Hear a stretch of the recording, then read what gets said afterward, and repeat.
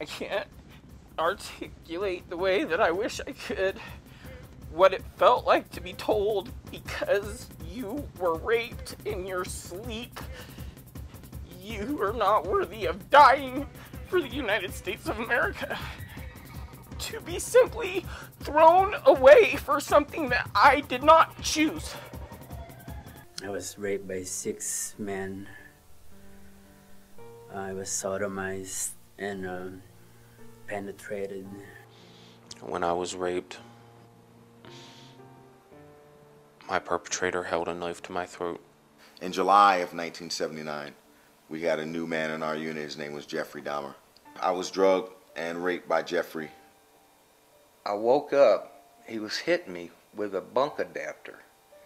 And, you know, I was um, raped and beat again. He would either beat me before or after the rapes. Suddenly his arm went around my neck and apparently hit a pressure point and uh, took me out instantly. When I came to, I was being raped. I was knocked unconscious from behind. And when I came to, uh, I was being held down by two individuals.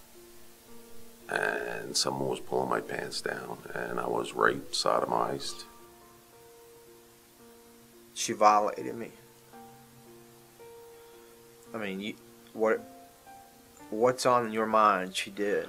You know, drugged and uh, sodomized me and raped me. I was jumped by three drill sergeants. I was raped multiple times. I was handcuffed in the shower. And one of the drill sergeants proceeded to sodomize me again.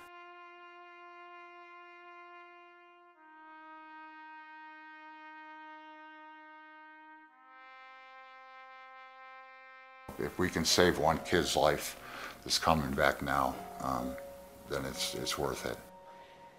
It's hard and it's a constant battle for everybody, but you find a way. You get up in the morning, you kiss your kids, you say a prayer, and you do the best you can. And I love him, so I always hope for a better tomorrow. Who picks this? This is forced on me. I don't even want to be telling the truth, but my conscience demands that I reach out to people who are, are where I have been.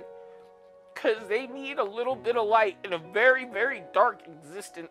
And if just one person doesn't hang themselves or pull the trigger or get in the car and turn it on in the garage or however many other millions of ways there are to end yourself, don't do it.